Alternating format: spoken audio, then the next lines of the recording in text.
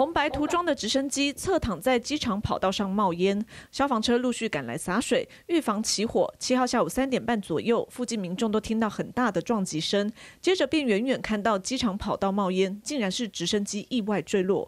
你做工过，啊听到声音嘛，嘣一声，我就走去电管车电电管看。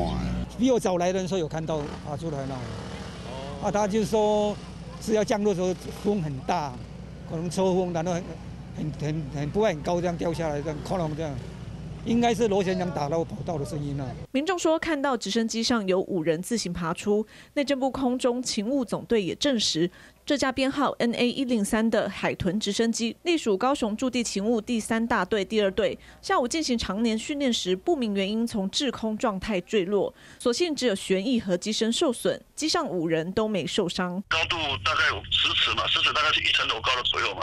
它已经结束到尾端要要结束了，在做施工最后一个项目了。发生这个事故的时候，它就整个就落落地下去以后，整个机身就侧侧滑。空勤总队表示，这项常年训练大约需进行两小时，训练时天后符合标准。有目击者指出，疑似侧风太大造成。飞安会陆续也赶到现场调查事故原因。小港机场则因此暂时关闭跑道四小时，待初步勘查结束，再将机身脱离。